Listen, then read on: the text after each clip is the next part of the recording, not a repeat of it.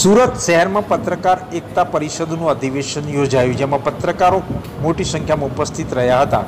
સુરત ખાતે જિલ્લા અધિવેશનમાં પ્રદેશ અધ્યક્ષ પત્રકાર એકતા પરિષદ લાલુભાઈ કાતરોડિયા, પ્રભારી ગૌરાંગ પંડ્યા, આર્ટિકલ અધ્યક્ષ સમીરભાઈ બાવાણી, મહિલા સેલ અધ્યક્ષ કાજલબેન વૈષ્ણવ ઉપસ્થિત રહ્યા.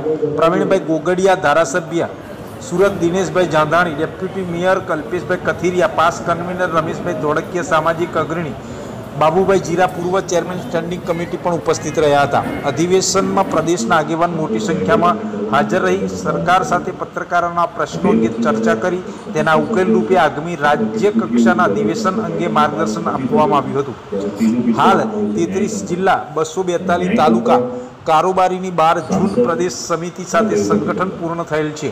મહિલા સેલની પણ રચના ચાલુ જ છે. લીગલ સેલ રચના પણ કરવામાં આવી છે. અધિવેશનનું આયોજન લાલ દરવાજા આયુર્વેદિક કોલેજ રેલવે સ્ટેશન પાસે એક હોલમાં રાખવામાં આવ્યું તાપી જિલ્લાના સુરત સિટી શહેરના પણ પત્રકારો ઉપસ્થિત રહ્યા હતા.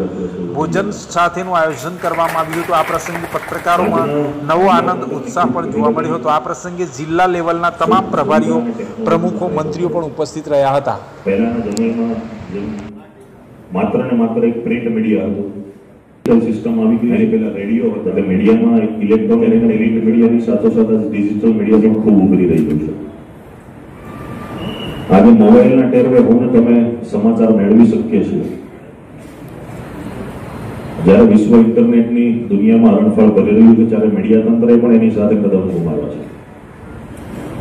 ઘણા બધા એવા નામાંકિત મીડિયા છે કે જે વર્ષો સુધી પ્રિન્ટ મીડિયામાં હતું કે ઇલેક્ટ્રિક મીડિયામાં હતું પણ જ્યારે સમયની માંગ આવતી હોય છે ત્યારે સમયની સાથોસાથ ડિજિટલ મીડિયા પણ એટલી જ ક્રાંતિ કરે છે.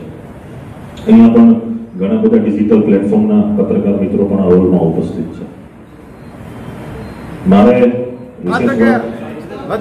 આભાર વ્યક્ત કરું છું. અને આ સંગઠન નજીકના દિવસમાં મહા અધિવેશન ગાંધીનગર અથવા અમદાવાદ કરી રહ્યું છે. અને પત્રકારોની લાંબા સમયની પચીસ વર્ષથી છીનવાયેલી સુવિધાઓ પૈકી આઠ કે નવ સુવિધાઓ ફરીથી પ્રાપ્ત થાય, એના માટેની ચર્ચા થઈ અને આખરી એન્ડિંગ ઉપર છે.